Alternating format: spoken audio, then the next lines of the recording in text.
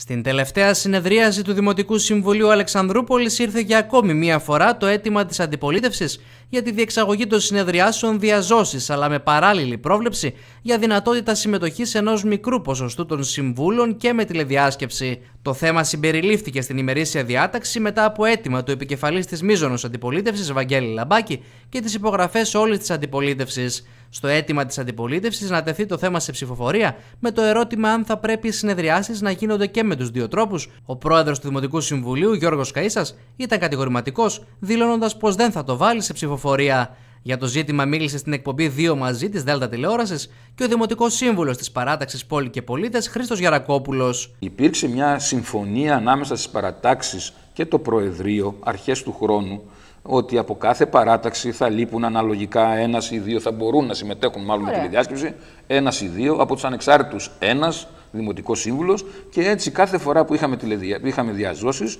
δινόταν δυνατότητα σε κάποιους να απουσιάζουν, αλλά με συγκεκριμένο ποσοστό. Ούτε αυτό εφαρμόζεται. Επομένως, τι κατατέθηκε λοιπόν, κατατέθηκε μια πρόταση να εφαρμοστεί η μεικτή, ο μεικτός τρόπος λειτουργίας του Δημοτικού Συμβουλίου. Δηλαδή και διαζώσεις και με τηλεδιάσκεψη με τα ποσοστά που είχαμε ορίσει συμφωνημένα όλες τι παρατάξεις. Αυτό λοιπόν συζητήθηκε. Αλλά ο πρόεδρος, όταν φτάσαμε στο διατάφτα να ψηφίσουμε για να εφαρμοστεί τελικά η πρόταση αυτή, είπε: Εγώ δεν το βάζω σε ψηφοφορία. Για το θέμα είχε μιλήσει επανειλημμένα και στο παρελθόν ο επικεφαλής της παράταξης Πόλη και Πολίτες, Βαγγέλης Λαμπάκης, που ζητούσε να γίνονται συνεδριάσεις διαζώσεις. Επιτέλους, θα αντιληφθείτε ότι έχουν τελειώσει τα πάντα και ότι οι διαζώσεις συνεδριάσεις είναι απαραίτητο να συμβούν για πάρα πολλούς λόγους. Δεν μπορείτε να μας δείτε ε, διαζώσεις στο πρόσωπο δεν μπορείτε να μας αντιμετωπίσετε.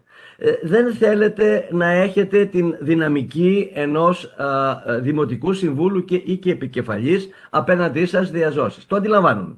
Όμως τι να κάνουμε, η δημοκρατία το υπαγορεύει αυτό και ε, είστε υποχρεωμένοι να το αντιληφθείτε. Τη δική του απάντηση για το θέμα έδωσε μέσα από τη Δέλτα τηλεόραση ο πρόεδρος του Δημοτικού Συμβουλίου Γιώργος Καΐσας. Όταν καθιερώσαμε το μεικτό τρόπο ο, σαν Συμβούλιο, λειτουργήσαμε κατά, κατά κάποιον τρόπο, αλλά διαπίστωσα ότι δημιουργούνταν άλλου τύπου ζητήματα. Δηλαδή η παρουσία συμβούλων α, μέσα ανοίγοντας το κομπιούτερ, πατάμε ένα ναι στην είσοδο και από εκεί και πέρα είμαστε στη δουλειά μας.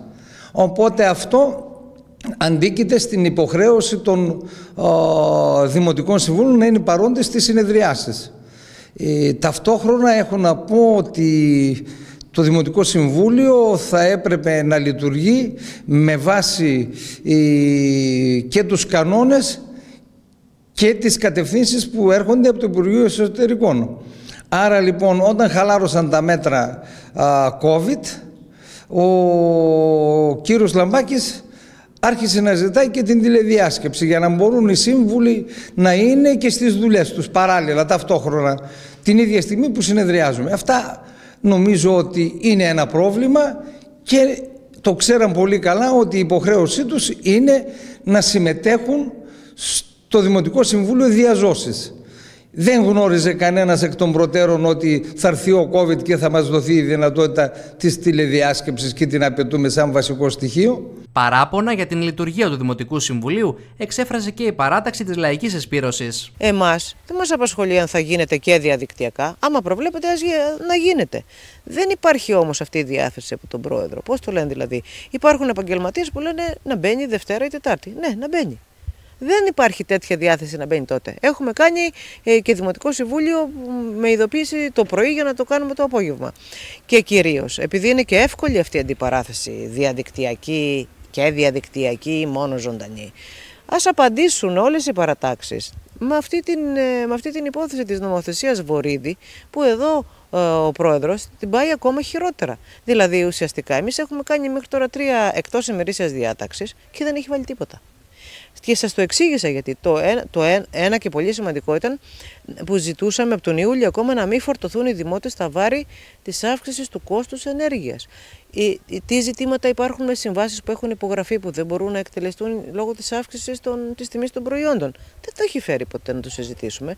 Αντίθετα βλέπουμε ότι ήρθε ένας επαγγελματίας ο οποίος ζητάει αλλαγή της σύμβασής του γιατί ισχύει αυτό. Τα τελευταία συμβούλια έγιναν Δευτέρες και Τετάρτες και άρα αυτό που λένε δεν ευσταθεί. Ταυτόχρονα να πω ότι πολλές φορές μπορεί να συμβεί να γίνουν συνεδριάσεις σε άλλες μέρες γιατί πρέπει να συνδυαστούν και οι υποχρεώσεις του Δημάρχου, των υπηρεσιών και των ίδιων των συμβούλων ή των εισηγητών.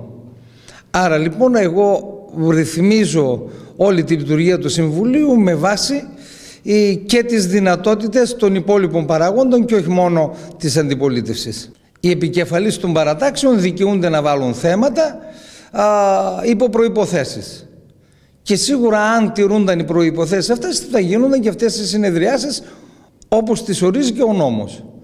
Όταν λοιπόν προγραμματίζεται ένα συμβούλιο και επειδή προγραμματίζεται μέρες πιο μπροστά δεν μπορεί τα θέματα να είναι ούτε γενικά ούτε αόριστα. Θα πρέπει να, να έρχονται με εισηγήσεις και να λαμβάνονται αποφάσεις συγκεκριμένες. Όπως και τα θέματα του Δημοτικού Συμβουλίου πρέπει να είναι συγκεκριμένα.